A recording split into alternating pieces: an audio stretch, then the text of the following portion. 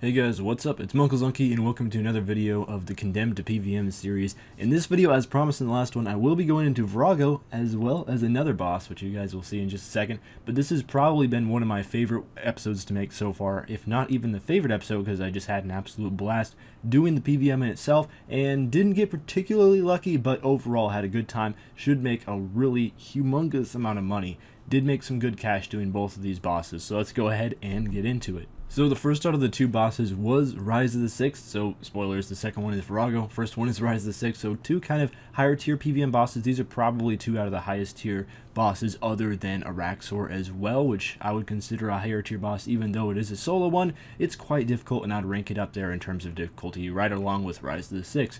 So unfortunately Rise of the Six and Vorago, I have been somewhat limited in how often I can do them, I wish I could do them a lot more. The only problem with these bosses is it can be somewhat difficult to find a team. Rise of the 6 isn't normally so bad to find a team as long as I wait till later on in the day when it's not school or work hours, but Vorago has been a humongous struggle to find a team sometimes, so hopefully I will be able to get that found, and I just have been having a lot of fun at Rise of 6 admittedly, so even though I've had to do that instead of Vorago, um, when I have been trying to get the Vorago done, I haven't minded all that much. So one thing that I did have to learn with Rise of 6 is the new Shadow Realm mechanic fairly recently because it used to be that you would just run over some fires and put the brothers into the fires and that's how the Shadow Realm went. It was a really weird and dumb mechanic because it could cost you some kills sometimes since the brothers kill timers did not stop if you were put into the Shadow Realm. And now what the Shadow Realm means is you just do double damage to the brothers as well as they do double damage to you. So it can be a good thing. It can mean that the kills can go a lot faster, but it's also more dangerous if you come across some of the more dangerous mechanics of the game such as the Barrows brothers spinning on you or you getting hit by Ahrim's lightning because that damage is doubled as well, and that admittedly caused, out of the few kills that we did fail, that was the one that causes most of the deaths, is the lightning attacks because that is just deadly, and sometimes it can spawn on top of you and good game you. Luckily though, we did not fail too many kills because for the most part, I was going with teammates that were pretty good. Most of them were quite a bit better than I was, and we managed to be fairly successful in our kills and also get some fairly fast ones as well. Didn't break any records or anything, but we were getting fairly consistent kills, and it overall is very, very good money. So the first shield that happened did not go to me. It went to my friend Nangley, and he got a Merciless, which is the magic shield, and also the middle one in price. The melee shield is the most expensive, although I'm not really sure why, because you'd think the magic one would be, and then the range shield is the cheapest, and the magic shield is right in the middle. So the second one was another merciless kite shield by one of the other guys, and I will not be splitting shields because that's how most ROTS teams go. You don't split the shields, you just keep them if you get them. They're not really worth a whole lot these days anyway, so it's not that big of a deal. So I will have to get all of the shields myself as unique drops, so that might take a while, but I'm not really going to be too upset about it because ROTS is a lot of fun and some pretty good money as well. And then the next one was a Vengeful Kite Shield, which was the second one I've ever seen. The first time I ever saw a Vengeful Kite, it went to me, but that was a very, very long time ago. So I will have to get all three unique shields on my own, but I will be showing additionally any drops that any other people get because that's kind of cool. I do believe we got one other shield as well that I did not show uh, quite a while ago as well. So the first shield that went to me was a Merciless Kite Shield, which was a nice 5 mil. So that's pretty good, and it broke about uh, 160 chest or so dry streaks, so I was pretty happy about that one to finally get it. It's not worth a whole lot, just 5 mil, but you got to think if you get several of these shields, they really do add up over time, and you're already making really good money even without getting any shields just because you can do these ROTS chests so fast. It's a very short boss fight, which is one of the favorite things about it. And then I additionally got a Vengeful Shield later on in the same trip, about 5 kills later or so. So that Vengeful Kite, not worth a whole lot, it's only about 3.6 mil, but that does mean I have 2 out of the 3 unique shields, so I just have to get a Malevolent Kite Shield as well, which is the melee shield and the most expensive one, and then I will have all 3 of the shields done, so I'm really looking forward to that one. So looking at the overall progress from ROTS, obviously there's only three drops from this boss, so there's not really a whole lot of drops I need to get, and it shouldn't take too long to get the third one, but who knows, maybe I could get several duplicates before I finally run across that Malevolent Kite Shield, and I wouldn't mind that too much because ROTS is a lot of fun, but I am 186 chests, at least chests that have been logged, into Rise of the Six and really enjoying it so far and I'm going to be making some bank. It's not nearly as good money as it used to be because admittedly some of the raw materials have dropped a lot in price such as rock tails for example aren't worth a whole lot and the energies themselves aren't worth a whole lot also, the shields aren't worth a whole lot, but even with the crash prices, it's still pretty good money. It's still better money than something like QBD, for example, as long as you're with a team and that is not failing a whole lot of kills, and it's a lot of fun as well. Really enjoy this boss, and it does contend for my favorite boss in the game. I think Vorago still holds that spot, but ROTS is a lot of fun as well. Speaking of Vorago, I try to do quite a bit of Vorago as well. It can be fairly difficult to get Vorago kills sometimes just because it's difficult to find people to go, but I have been adding more and more people as I continue to Vorago, just trying to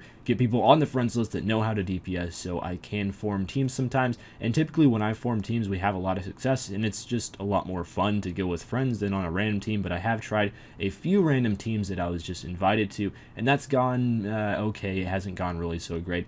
So for the most part, when I Vorago, I bomb tank. Admittedly, I'm not really a huge fan of Vorago DPS. I will still go on trips as a Vorago DPS if we are going in a team that's going to be doing several kills because that's just really worth doing to knock some Vorago kills out of the way. But for the most part, I do try to bomb tank while doing it. And I started out with doing a range bomb tank using the Sagi, and that's kind of a newbie way to do it, admittedly. But eventually I did upgrade to Seismics and decided to mage bomb tank instead because you do a little bit more damage that way and you can switch to a dual wield during phase 5 just to make sure you succeed the phase if the DPSers are failing or anything like that.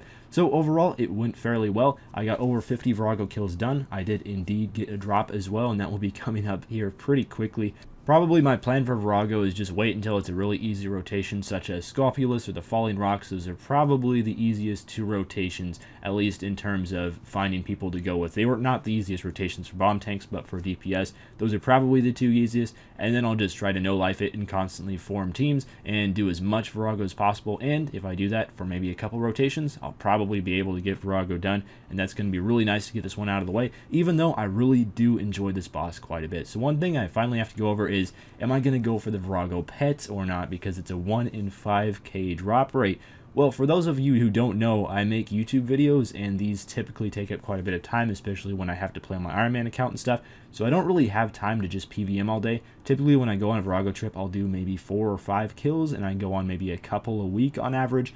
So with that being said, no, I'm not going to be able to get the pet just because it would take up too much time. So I did wind up getting one drop from Vorago during the kills that I did do, and admittedly this is a slightly older clip, this was around Halloween time. It was when I was just barely getting into Vorago for this series at least, and I was just starting to keep track of kills towards Condemned to PVM, but we did get, end up getting a Seismic Wand, which was a really nice split. It was worth a little bit more back then than it is now, and I believe it was a six-man split as well. So it was a little bit over 100 mil profit just from that wand alone, which was very, very nice. So I was excited about that. And one thing that I might be willing to consider is perhaps getting both the wand and the orb to me on the ground because this wand did not go to me. So even though it was a split, I would count it.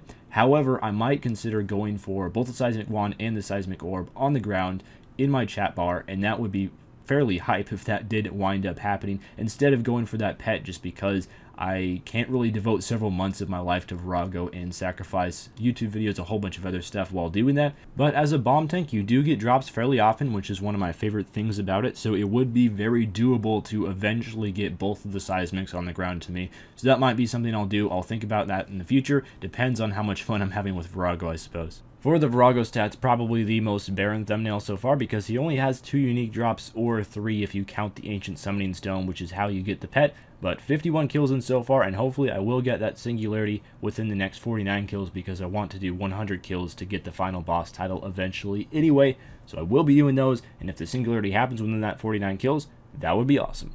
Now is finally the time of the video where we get into the price checks, the ROTS price check. First of all, and my goodness, that is a nice looking inventory, up to 272 energies already, which is still a fair amount even with their fairly low value, and look at that, 51 million just in energies, 107 million total from the rots altogether. So even counting supply costs, that's at least 90 million of profit, which is insane. Very, very good money. And compared to Vorago, I really have not spent a whole lot of time at rots either, so it's still great profit. And now for the Vorago price check. That is a lot of Triskelion key fragments. Every single time you get one, it says so in your chat bar that a golden beam has appeared and it's kind of a troll. But altogether, the Vorago split was really nice. That 107 mil cash from that seismic wand. The rest of the drops, not so nice. Vorago is honestly pretty terrible money unless you get a wand or orb, especially considering it takes so long to find a team and for everyone to bank and all that. That's by far the most frustrating part of it. But if you can get a good team, it can be a lot of fun and also good profit if you get lucky. So if we add up all the money that I made during this episode, it comes to a total of 235.8 mil. That's quite ridiculous, making this the most profitable episode so far,